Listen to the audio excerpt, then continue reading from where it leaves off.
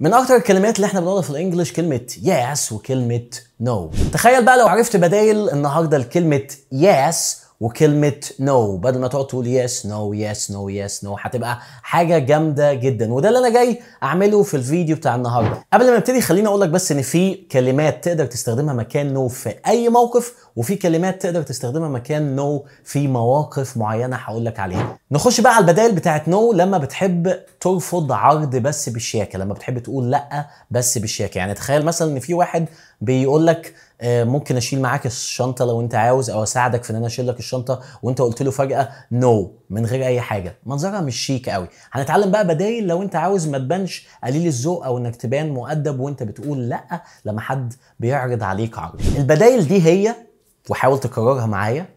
I'm good. I'm good. I'm all set. I'm okay. I'm alright or thanks but no thanks. Thanks but no thanks. خليني بقى أديك كده مثال مع بعض عشان ما نتوهش. خلينا نقول إن أنت في المحطة في ال train station وحد بيسألك بال English بيقول لك أنت محتاج مساعدة مع الشنط بتاعتك.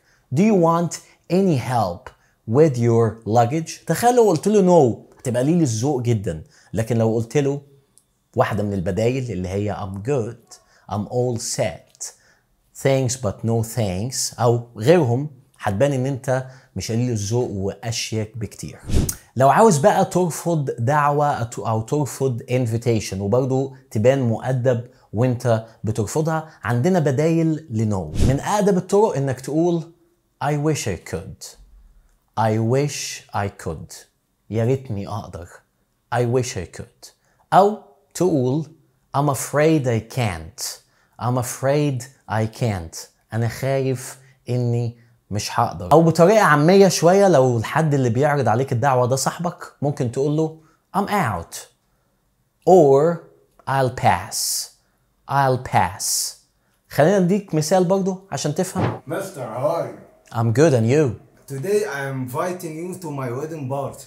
I wish I could لا وربنا I'm afraid I can't عليا النعمة طلقها من قبل ما تيجي. I'm out خلي بالك ما مش هنفرح يا جدع. I'll pass عليا ت- أمي نفسها مش تالت no وأنا بسميها الموقف اللي انت عاوز تقطم فيه عاوز تجيب من الآخر عاوز تقول no no وعاوز الشخص اللي قصادك دوت يعرف إنه مش هيكرر الموضوع ده تاني ومش هيسألك السؤال ده تاني. أول بديل no way هساي يعني مستحيل الكلام ده مش هيحصل. عندنا كمان you're joking. right تأكيد بتهزر.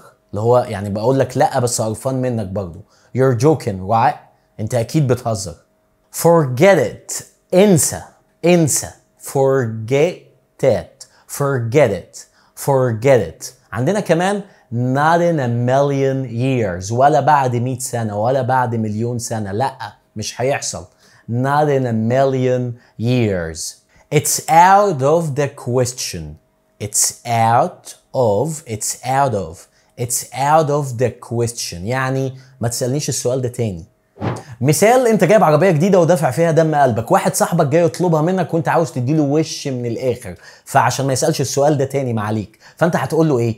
هيقول لك مثلا can I borrow your car ممكن أستلف العربية بتاعتك فانت هتروح جاي مديله الوش الجميل وتقول له إيه؟ Not in a million years. ولا بعد 100 سنة. Or it's out of the question. ما تسألنيش السؤال ده تاني مش عاوزه يجي في دماغك. You're joking right انت أكيد بتهزر أنت مش عارف أنا دافع فيها كام يلا. انت اهبل okay you're joking right? أو آخر حاجة معانا forget it انسى. okay انسى وخد البنسى كنا بنقولها زمان وإحنا عيال صغيرين. okay لو الفيديو عجبك share and like كالعادة. برخم عليك معلش أخوك ويعني كده.